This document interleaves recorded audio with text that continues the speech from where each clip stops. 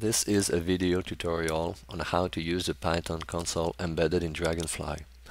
This Python console can be used to inspect objects, to manipulate data, or even to test pieces of code. To open the Python console, we open the Tools menu and click on Python console menu item. And then the Python console opens at the bottom of the screen. I will start by creating a Python variable for my dataset. I will call it a channel and I will use the list to identify my dataset I want to use in the Python console. I will click, start dragging and drop in the Python console to get the instance from the unique identifier called the GUI ID of my instance. I can have I can access properties of that dataset by typing different commands. For example, to obtain the x size of my dataset by using the get x size method for which I received the information that it has 256 voxels on his width. And these properties can be obtained from the documentation in this page or as model for all methods of of manage and of different classes we can find in Dragonfly. In that case, I use a dataset for which the model is named channel.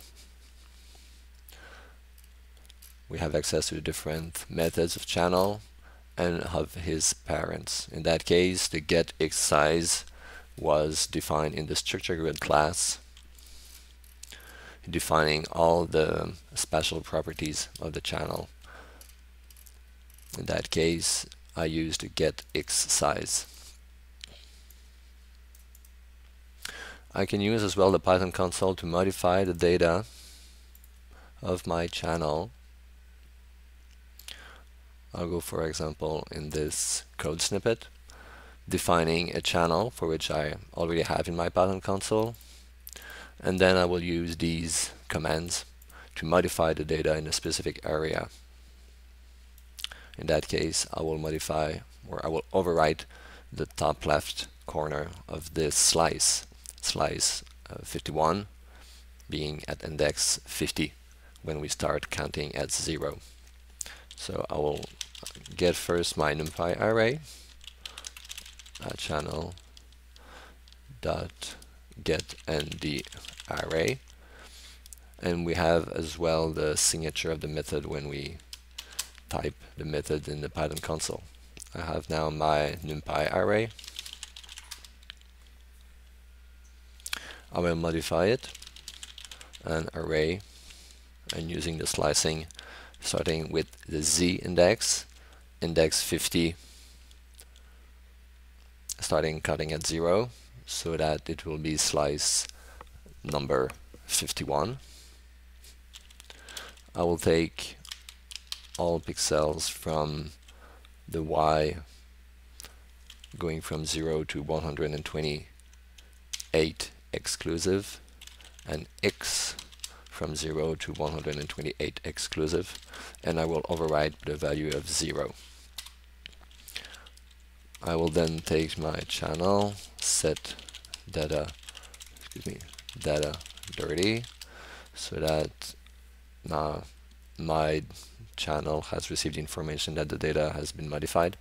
And I will also take this okay a refresh now occurred for my view but as well I could have used this little square in the view click start dragging and dropping in the Python console to retrieve the instance of the view getting uh, using the unique identifier.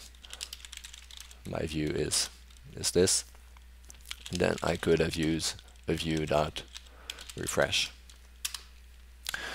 Uh, I will use it in uh, another example just right now.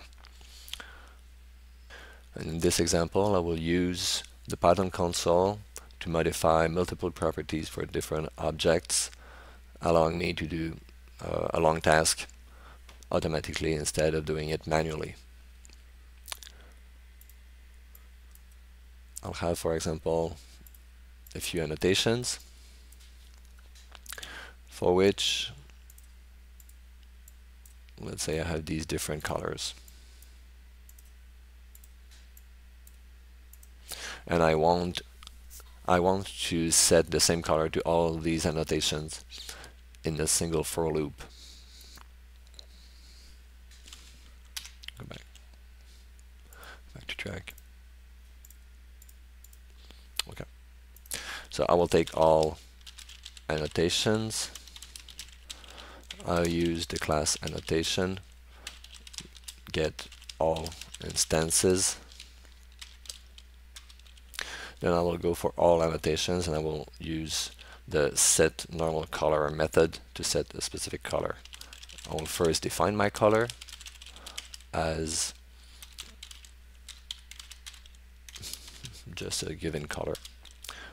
Then for an annotation in all annotations, I will do an annotation dot set normal color. Color. And just to make sure I have the correct method I will go in my from my home page ORS model in annotation. I can look for set normal color in which I have my color as input argument to set the normal color of the annotation. Okay. And then still in the for loop and annotation dot set property dirty then once all annotations have been modified I will take my view and I will refresh enter to complete. And now all my annotations have been the color has been updated for all these annotations and my view have been refreshed. Avoiding me to do the same task manually. Thank you for watching.